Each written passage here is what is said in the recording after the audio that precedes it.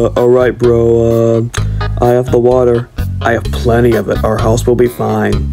I really hope so, Sans, because All my valuable stuff is in there.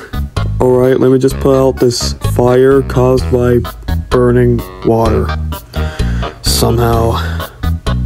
Um, yeah.